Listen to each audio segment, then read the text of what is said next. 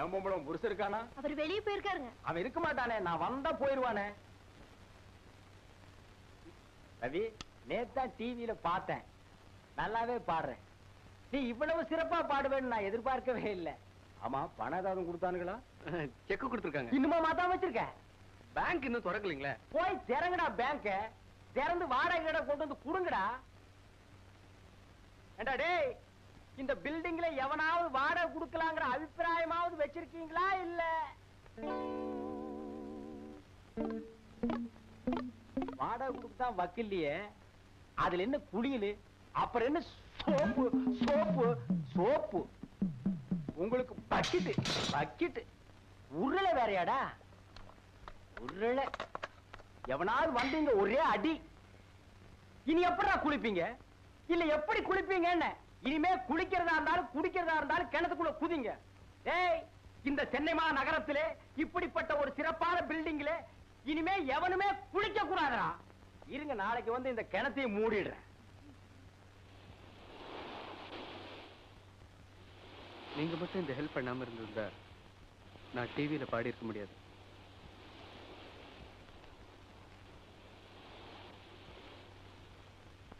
ஆமா நீங்க இதே ஊர் தானே என்ன யாருன்னு தெரியாமையே உதவி செஞ்ச உங்ககிட்ட என்னை பத்தி சுருக்கமா சொல்ல போனா நான் ஒரு அனாதை. சாரி இட்ஸ் ஓகே நான் உங்ககிட்ட தானே சொல்றேன். நான் படிச்சது வளர்ந்தது எல்லாமே ஒரு அனாதை ஆசிரமத்துல தான்.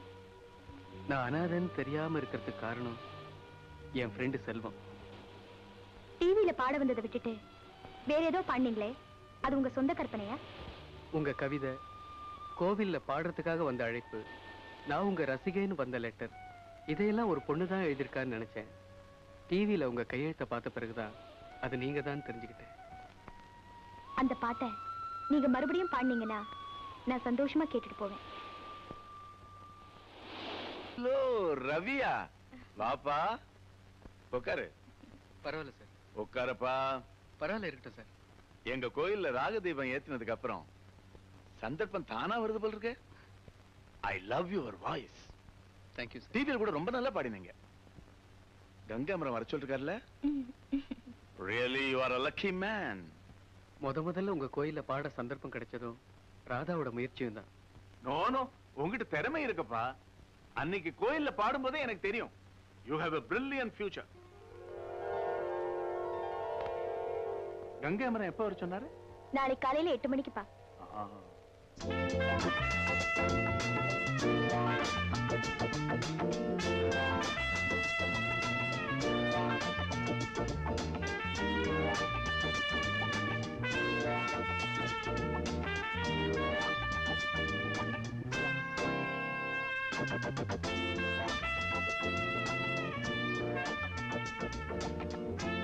வாங்க. வணக்கம். வணக்கம். வணக்கம். நீங்க தான் மிஸ்டர் ரவி இல்ல? ஆமா சார் உங்க ப்ரோக்ராம் டிவில பார்த்தேன் ரொம்ப நல்லா இருந்தது. இதே மாதிரி பாண்டீங்கன்னா சீக்கிரம் முன்னுக்கு வரலாம். நாளைக்கு காலையில பத்தரை மணிக்கு ஏவிஎம் ரெக்கார்டிங் தியேட்டர்ல எஸ் ஜானகியோட டூயட் பாடுறீங்க. ஜானகி கூடவா? உங்களை எல்லாம் உங்களை எல்லாம் விட்டுட்டு போகணுங்கிறத நினைக்கும் போது எனக்கு ரொம்ப கஷ்டமா தான் இருக்கு. அநாத ஆசிரமத்திலிருந்து வெளியே வந்த எங்களுக்கு உறவுன்னு சொல்லிக்க இருந்ததே நீங்கள்லாம் தான். இந்த இடத்த விட்டு போகணும்னு நான் விரும்பல. ஆனா ஆனா நான் இப்ப இருக்கிற சூழ்நிலை என்ன தேடி வர்றவங்களுக்காக நான் போய் தான் ஆகணும். சார் நாங்க வாடகை கொடுக்கலன்னு. நீங்க எத்தனையோ தடவை பாத்திரங்களை தூக்கி வெளியே எரிஞ்சிருவேன்னு சொல்லியிருக்கீங்க. ஆனா தெரிஞ்சோ இல்ல எங்க மேல பரிதாபப்பட்டோ அந்த காரியத்தை நீங்க செய்யல. இவங்க கிட்ட நான் கஞ்சி வாங்கினது துணிக்கு போட்டு காய போடுறதுக்காக நினைச்சிட்டு இருக்காங்க. ஆனா அந்த கஞ்சி தான் எங்களுக்கு எத்தனையோ நாள் ஆகாரமா இருந்திருக்கு. முத முதல்ல நான் பாட போகும்போது போடுறதுக்கு கூட ஒரு நல்ல ட்ரெஸ் இல்லாதப்ப உங்க புது ட்ரெஸ் எனக்கு கொடுத்தீங்க. ராத்திரி பகல்னு கூட இல்லாம பாடி உங்களுக்கு எல்லாம் தொந்தரவு கொடுத்துட்டேன். நானும் செல்வமும் என்ன தப்பு பண்ணியிருந்தாலும் எங்களை மன்னிச்சிடுங்க. ரவி சாதாரணமா நான் எதுக்குமே சங்கடப்பட மாட்டேன். நீ இந்த பில்டிங் விட்டு போறேன்னு சொன்ன உடனே என் மனசு என்னமோ போல இருக்கு. சமயத்துல உன்னை என்னென்னமோ சொல்லி திட்டியிருக்கேன். அதெல்லாம் மனசுல வச்சுக்காத.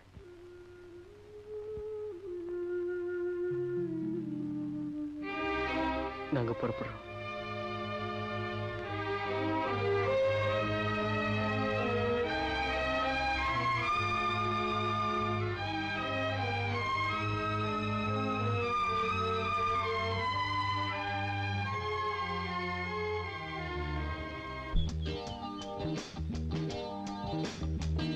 ஏண்டா ராதா இன்னும் வரலையா? நீ பாட்டுக்கு நின்றுட்டு நின்னுட்டு இருந்தா அங்க ப்ரொடியூசர் ரெண்டு தடவை ஃபோன் பண்ணிட்டாங்கடா. ஏண்டா கொஞ்சமாவது பொறுப்பு இல்ல இருக்க? நான் என்னடா பண்றது? அவ வரட்டும். இது வேற. ஹலோ? யாருங்க பேசுறது? யாரு? தெரியுதாவ? போன்ல எப்படிங்க தெரியும்? நேரம் வந்தாதான் தெரியும். யார் பேசுறது? ரசிகரா? எங்க இருந்து பேசுறீங்க? போன்ல இருந்தா. யோ வெயிப்பா எல்லாம் உன் ரசிகர் தான். ஏண்டா நானும் தெரியாம தான் கேக்குறேன். பத்து நாளா டெய்லி இறங்கி வந்து கேக்குறேன். ஏண்டா அவங்க வந்தாங்களா வரலையா? இதெல்லாம் நீ கவனிக்க கூடாதா இத பாருப்பா நான் சொல்லியாச்சு. இதுக்கு மேலே அவங்க வரலன்னா நான் என்ன பண்ண முடியும்? கவனிக்கணும்டா கவனிக்கணும். நீ எப்படி முன்னுக்கு வர போற? ஏண்டா ஒரு மனுஷன் பத்து நாளா ஏசி இல்லாத இருக்க முடியுமா? முடியாத. உன்னால ஏசி இல்லாம இருக்கவே முடியாது. போன நீயே எடுக்கிறியா? கொஞ்சம் கூட பந்தாவே இல்லையா. ஹலோ வணக்கம் சார். அப்படியா? பரவாயில்ல சார் அட்ஜஸ்ட் பண்ணிக்கலாம். சார் எனக்கு தெரியாது சார். உண்மையா தெரியாது. பரவாயில்லையாங்கிறீங்களா சார் ஓ ஓப்பனா சொல்றேன். எனக்கு தெரியாது சார். ஓகேயா சரி சார் நீங்க ஓகே சொன்னா ஓகே தான். யாரா போன்ல ம் எல்லாம் நம்ம ப்ரொடியூசர் தான். கன்னட பாட்டு பாடுன்னு சொல்றாரு. ஆ. எனக்கு லாங்குவேஜ் தெரியாதுன்னு சொன்னேன். பரவாயில்ல தமிழ்ல எழுதி பாடுன்னு சொல்றாரு. அடி சக்க. ம் நேரம் வேற ஆச்சு. ராதா இன்னும் காணோம். இது பாத்தீங்களா? நீங்க முதல் முதல்ல ரெக்கார்டிங்ல பாடினப்போ எடுத்த போட்டோ ஆ இது பாத்தீங்களா? நீங்க சீஃப் மினிஸ்டர் கூட எடுத்தது. இது பாருங்க ரஜினி கூட எடுத்தது. ஆ, அப்புறம் பாலச்சந்தர் கூட எடுத்தது. கமல். ஏண்டா டேய் நீ தான் இருக்கே. ஒரு நாளாவது பேப்பர்ல வந்த போட்டோவை எடுத்து வச்சிருப்பியாடா? ராதாவை பார். பேசுவடா. பின்னாடி செட்டப்பா உட்காந்துருக்கல நல்லா பேசுவடா. ஏங்க அவங்கிட்ட என்ன மாட்டி விட்டீங்க பாத்தீங்களா? ஆமா அவன் பாடுற பாட்டெல்லாம் எழுதி வச்சிருக்கீங்களா? எழுதி வைக்கிறதா? கார்பன் காப்பி எடுத்து என் ஃப்ரெண்ட்ஸுங்களுக்குலாம் அனுப்பிச்சிட்டு இருக்கேன் ஐ சரி. டேய் செல்வம் இவளுக்கு பைத்தியம் பிடிக்குதோ இல்லையோ? ஐம் சாரி பரவாயில்ல. நீங்க அப்படி கூப்பிடுறத நான் விரும்புறேன். ஐயோ எனக்கு பைத்தியம் பிடிக்கிறதுக்குள்ள ஸ்டுடியோ வரக்கூடாதா? ஏனோ இதே தொல்லையா போச்சு. அடே கொஞ்சம் தள்ளி உட்கார்ற ம். இத பாத்தியா? இதான் நேத்து பாடின பாட்டு. எங்கிட்ட வேண்டாமா அங்க குடுமா. இது வரைக்கும் அவரு பதினேழு படத்துல முப்பத்தேழு பாட்டு பாடியிருக்காரு. பாவண்டி அவங்களெல்லாம் விட்டுருடி ஏண்டி இப்படி தொணா தொணான்னு வந்தவங்களே உயிர் எடுக்கிற அதான் ஒரு ஒவ்வொரு பாட்டு பாடும்போது என்கிட்ட சொல்லி என்ன உயிர் எடுத்த இப்ப இவங்களையுமா? ஏ படிச்சவங்களா வந்திருக்காங்க எங்கேயாவது ஜாலியா சுத்தி பார்க்கலாம்னா? உனக்கு அவரு புராணமே சரியா இருக்குதுடி. ஏய் உன்கிட்டயா சொன்னேன் அவகிட்ட தானே சொன்னேன் உனக்கு என்னடி? போடி. இப்படியே பேசிட்டு இருந்தா எப்படி அவர்கிட்ட கேட்டு மேரேஜ் விஷயம் முடிவு பண்ணிக்கலாம்ல? இத பாருடி இப்பதான் அவர் நல்ல பொசிஷனுக்கு வந்திருக்காரு. இன்னும் நல்லா வளரட்டும்டி. ம். இப்படியே தாண்டி கேட்ட இதே பதில் தான் ராதா நீ அவர் வளர்ச்சிக்காக பாடுபட்ட அவர் ஒரு நல்ல பொசிஷனுக்கு வந்திருக்காரு. இதெல்லாம் நாங்க எதுக்காக சொல்றோம்னா கோபுரத்தை கட்டினவன் கூட அது அண்ணாந்து தாண்டி பார்க்கணும். சரி பாட்டி.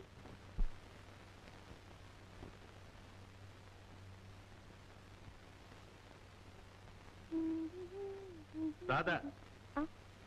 ஏமா இப்ப என்னம்மா மணி? நான் வெளிய போறவன் உனக்காக காத்துட்டு இருக்கேன் நீ என்ன ரவிக்கு பிஏயா இல்ல ப்ரோக்ராம் செக்ரட்டரியா காலையில எட்டு மணிக்கு போனா இப்ப ராத்திரி எட்டு மணி. காலையில எட்டு மணிக்கு புறப்பட்டேனா? ஃபர்ஸ்ட் பிரசாத் ரெக்கார்டிங் மத்தியானம் ரெண்டு மணிக்கு ஜெமினில ஈவினிங் சிக்ஸ் தேர்ட்டிக்கு மியூசிக் அகாடமி போயிட்டு இப்பதான் வரோம். எல்லாம் முடிஞ்சுச்சா? இல்ல ஏதாவது பாக்கி வச்சிருக்கியா?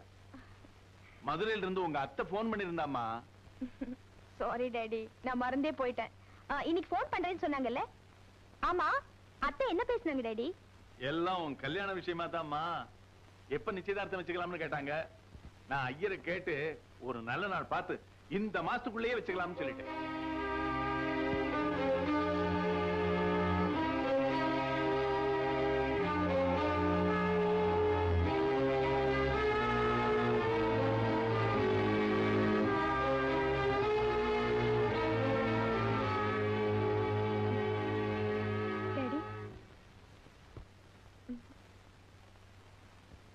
மிஸ்டர் ரவியை பத்தி என்ன நினைக்கிறீங்க? நல்ல பாடகம் அது இல்லப்பா. அவரோட குணத்தை பத்தி. He is a very nice man. Daddy நான் அவரைத்தான் கல்யாணம் பண்ணிக்கிறதா முடிவு பண்ணிட்டேன். என்ன டாடி திடீர்னு கையில் இருந்த ஸ்டிக்கு நழுவிருச்சு.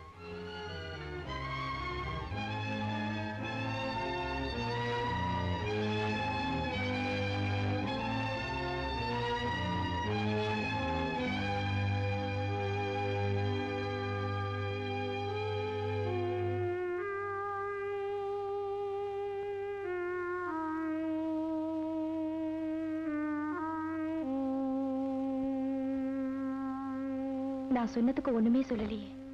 திடீர்னு என்ன சொல்றதுன்னு எனக்கு புரியல. நீ அவரோட பேசும்போதும் பழகும் போதும் அவரோட பாட்டை ரசிச்சிட்டு இருக்கேன்னு நான் நினைச்சேன். ஆனா நீ அவரையே ரசிச்சிருக்கேன்னு இப்பதான் எனக்கே தெரியுது. டாடி என் மனசுக்கு பிடிச்சவருக்கோ பிடிக்காதவருக்கோ யாருக்கு கல்யாணம் பண்ணி வச்சாலும் வாழ்க்கை நடத்த போறது நான் தானே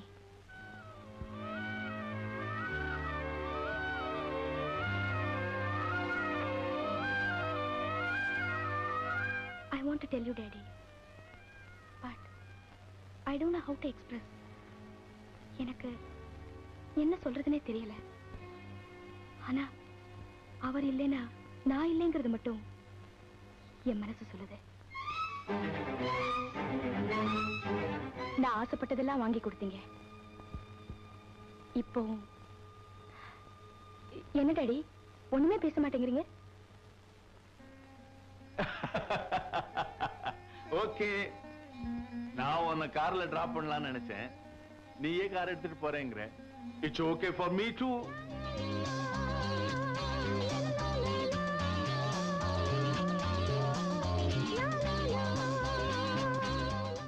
thank you daddy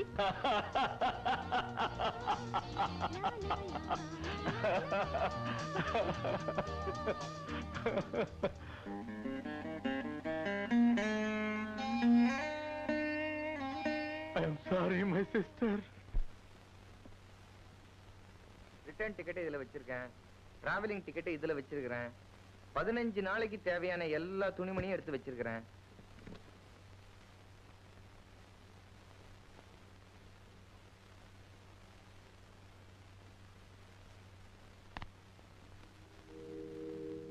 ஏய் முண்டம் சொல்றது காயில விழுதா? மதுரைக்கு போய்த்தாங்கணுமா? மதுரைக்கு போய்த்தான் ஆகணுமா? டேய் அட்வான்ஸ் வாங்கி மூணு மாசம் ஆச்சு. அடே. உன் ப்ராப்ளம் எனக்கு புரியுதுடா. ராதாவை பிரிஞ்சு பதினஞ்சு நாள் எப்படி வெளியூர்ல இருக்கிறது? அதானே உன் ப்ராப்ளம் போடா பைத்தியக்காரா. ராதா இப்ப பழகுனவதான்டா. எனக்கு விவரம் தெரிஞ்சதுல இருந்து ஒரு நாள் கூட நீ இல்லாம இருந்ததில்ல. அப்படி இருக்கும்போது பதினஞ்சு நாள் எப்படி இருக்கிறதுன்னு தான்டா ஐ எம் சாரிடா இங்கதான் இருக்கீங்களா? நான் கீழே எல்லாம் தேடி பார்த்தேன். அப்புறம் நேத்து நீங்க சொன்னதெல்லாம் நல்லா யோசனை பண்ணி பார்த்தேன். நீங்க வாங்கியிருக்கிற புது பங்களா பெட்ரூம்க்கு லைட் கலர் தான் அடிக்கணும். ஹால்ல நாலு சோஃபா செட்டு நல்லா ரிச்சா போடணும். அப்புறம் கலர் லேம்ப்ஸ் வந்து ரெட் ப்ளூ எல்லோ இதெல்லாம் போடலாம். அப்புறம் இந்த டிவி செட் எங்க வைக்கிறோம்? நீ சொல்றத கேட்கறது ஒரு பக்கம் இருக்கட்டும். இவன் ஒண்ணு சொல்லுவான். கேளு. என்னது? அது அதான். அதானா அதேதான். அதேதான்னா அது அவனையே கேளுங்க. என்னங்க உங்களையே கேட்க சொல்றாரு? அவனையவே கேளு. அது வேற ஒண்ணும் இல்ல. மதுரையில பதினஞ்சு நாள் ப்ரோக்ராமுக்கு அவன் போறான்.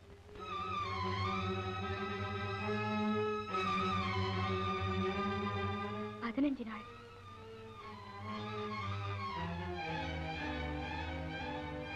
பிப்டீன் டேஸ்ல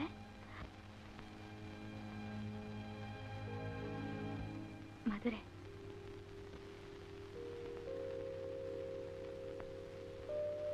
சரி நாளைக்கு அவன் போறான். நாளைக்கு காலையில அவன் ஊருக்கு போறான். இப்போ இவன் போறான் ஆ?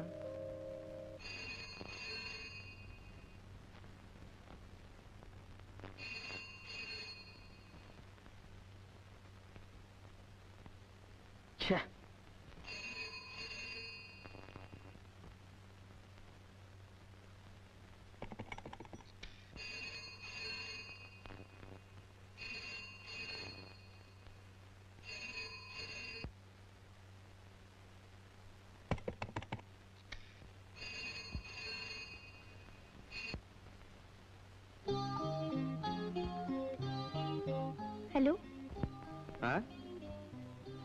மேனோ ஹூ இஸ் ஸ்பீக்கிங் நான் தான் நான்சென்ஸ் பேசுறேன். அப்படின்னா நான் நினைச்ச ஆள்தான் நீ நினைச்ச ஆள் தானே இவ்வளவு நேரம் பெல் அடிக்குது. ஏன் எடுக்கல? திமுற?